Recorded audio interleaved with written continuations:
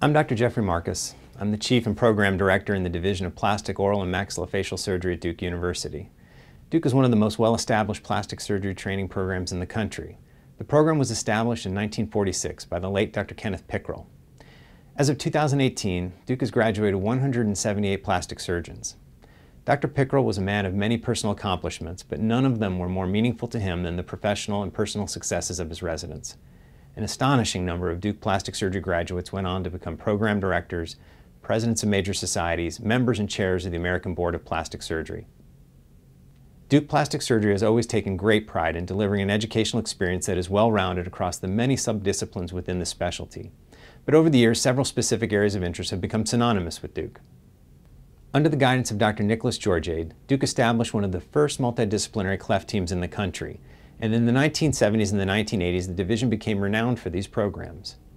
Microsurgery changed the field of plastic surgery in the early and mid-1980s, and Duke was at the forefront of that evolution under the influences of Dr. Don Serafin, Chief of Plastic Surgery at the time, along with Dr. Jim Urbaniak, who was the Chair of Orthopedic Surgery.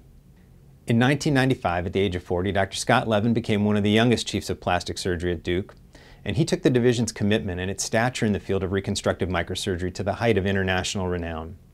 Dr. Levin also established Duke's Human Fresh Tissue Laboratory, which is an anatomy teaching facility that's owned and operated by our Division of Plastic Surgery and which provides educational opportunities and programs for interested specialties throughout the Duke system and beyond.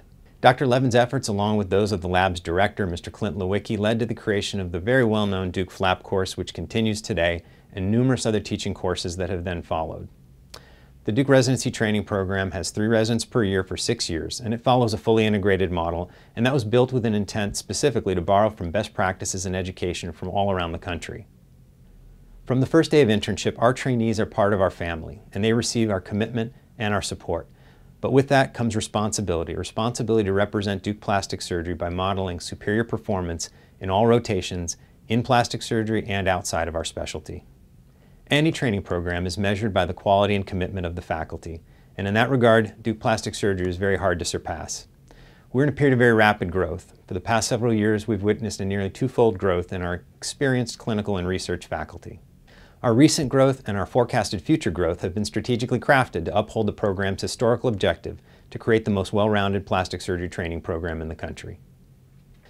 It's our express mission in this division to instill an environment of teamwork, loyalty, mutual respect, accountability, and family to train future leaders in plastic surgery. And for this reason, we purposefully incorporated leadership training within our curriculum.